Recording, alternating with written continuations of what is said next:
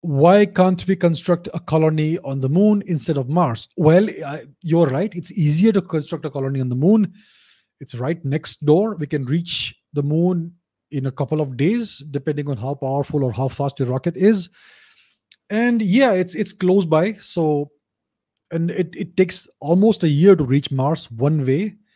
So there is a much greater risk in that amount of space travel and uh, it's much easier to construct a colony on the moon.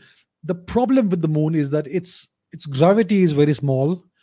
So if you weigh 60 kilos on earth you will weigh only 10 kilos on the moon. Secondly there is no atmosphere on the moon. So you would always need to be uh, inside a space suit if you ever went outside your space colony.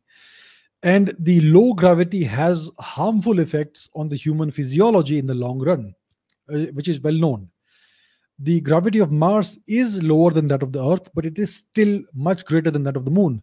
So it is a better long term prospect for human habitation, way better than the Moon. And it does have an atmosphere, which can hopefully someday in the future be uh, augmented and made more Earth like if we can develop that capability.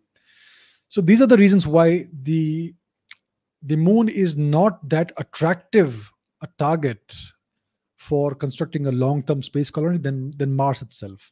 Mars would be a much better prospect for the long-term future of humanity as a secondary home for our species. The moon is not is not uh, anywhere close to the kind of uh, benefits that Mars would give you. It's much larger. There are many more resources. There's a lot of water there.